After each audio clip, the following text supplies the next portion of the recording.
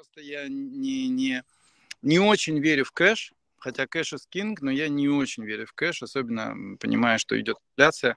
Например, инфляция за 80 лет в Великобритании по недвижимости примерно в тысячу раз. То есть дом, который стоил 1500 фунтов 80 лет назад, ну или 90 лет назад, сейчас стоит полтора миллиона фунтов. То есть да. деньги все нужны Ну, то есть можете себе представить, что это... Ну, да, то есть э, хранить деньги в долгосрочную, просто деньги, даже отдавая их куда-то там под проценты, это все равно, по сути, все, все равно просто, по сути, дарить, дарить инфляцию. Вот uh-huh. так. Uh-huh. И поэтому мне было интересно инвестиции. Ну и вообще, в принципе, Uh, у меня, например, такой, такая, такая, такой принцип, я не хочу оставлять деньги следующим поколениям.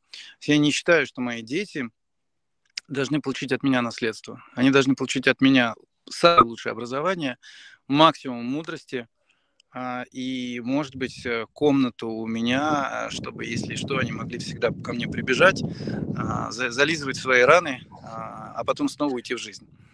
Но вот это, наверное, максимум, что я должен и я не должен им передавать свой капитал. То есть я с, лучше весь свой капитал хочу в развитие себя, а им передам мудрость. Им и внукам передам мудрость. Вот лучше всего так.